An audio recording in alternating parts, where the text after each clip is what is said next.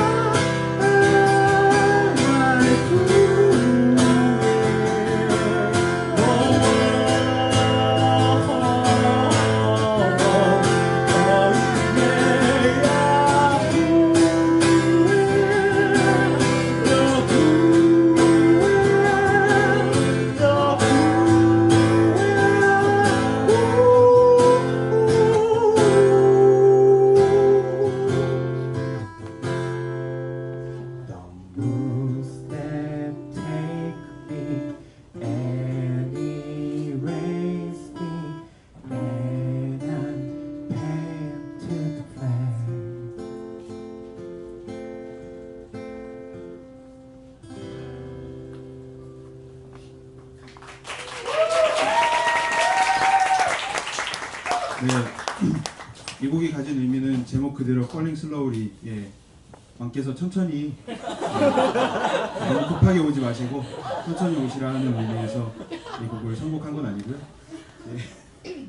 같이 불러보다가 그냥 어, 제가 이렇게 이 곡을 그냥 연습하고 있었는데 오늘 많이 틀렸는데 그러다가 이제 그냥 같이 노래를 그냥 자연스럽게 시작을 해서 예, 예. 어 이거 한번 이번에 한번 하자 그래서 하게 된 곡입니다. 저희가 원래 이래요. 예, 하다가 원래 원래 하다가 그냥 이렇게 뭔가 이렇게 뭐 막 이거 더 실력 향상을 위해서 이거 하자 저걸 하자 그게 아니라 그냥 놀듯이 재밌게 같이 하다가 그냥 뭐 이런 곡도 하고 저런 곡도 하는 그런 밴드처럼 하는 사람들입니다.